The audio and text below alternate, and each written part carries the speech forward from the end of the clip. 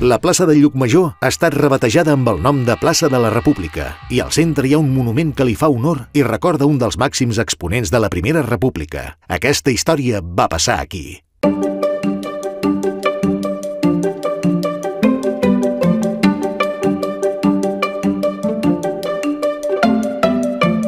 Som a la plaça de la República, que és l'antiga plaça Llucmajor. L'Ajuntament el 2016 li va canviar el nom, tota vegada que aquí hi ha un gran monument destinat a la República i a un del que va ser els seus principals eh, dirigents. Em refereixo al republicanisme, que va ser Francesc Pi Margall, un gran barceloní.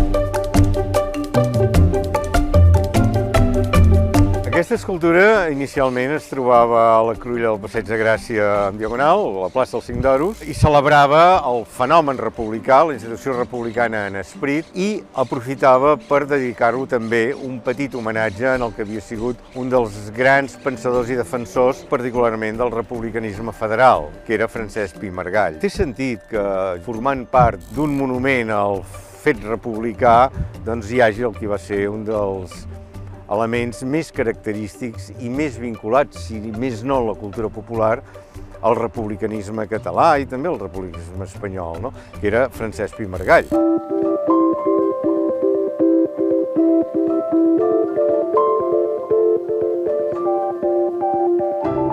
Margall eh, certament va durar molt poc a la presidència de la República, però en canvi ha estat un personatge molt recordat i molt present en la cultura política popular. El motiu és per la seva constant activitat política. Ell va ser un home que, tot i haver marxat relativament d'hora a Madrid, les relacions amb Catalunya i particularment amb Barcelona són intenses. El gruix del seu partit, el Partit Democràtic, va tenir un arrelament molt gran i justament amb ell també són molt presents a la cultura política popular altres persones d'aquell partit. Anselm Clavé, Narcís Montoriol, no? Aquesta gent van tenir, tots ells, i en Pi Margall al capdavant, una dimensió que transcendia la política. Eren, al mateix temps, agitadors i uns molt bons i importants intel·lectuals. Tots. Si Pi Margall estava al dia de les lectures que es publicaven a Europa, Josep Anselm Clavé estava al cas de la música nova europea i la introduïa aquí. És a dir, eren els més moderns que podia haver en aquell moment. I això és el que ha anat traspassant. I això és el que ha fet que també, dins aquesta cultura política popular, Pi Margall es veiés com un dels personatges que formava part dels projectes d'entesa de l'encaix entre Catalunya i Espanya a través d'un model federal.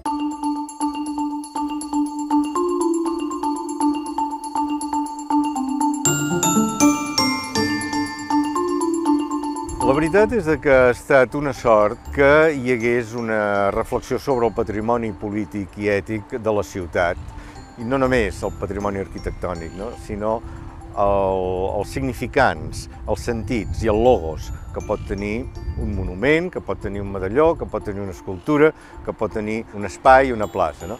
En aquest sentit, aquesta plaça en la que estem ara, la plaça de la República, en la meva opinió n'és un exemple, perquè la seva història és una història d'accidents, de vicissituds, de pors, però que finalment, a partir d'un canvi de govern notable, el 2015, doncs el 2016 es considera que el, el patrimoni polític de la ciutat i el patrimoni ètic de la ciutat ha de tenir una política pròpia, ha de tenir una política de memòria, que és la que es fa a partir de 2015, i que una de les primeres accions serà la de restituir el logos, el sentit que té aquest monument, tant en quant a la institució republicana com per al que ha estat un dels seus referents populars més importants, que és Francesc Pi Margall. I això, en posar-ho en un entorn que eh, sigui també culturalment adequat.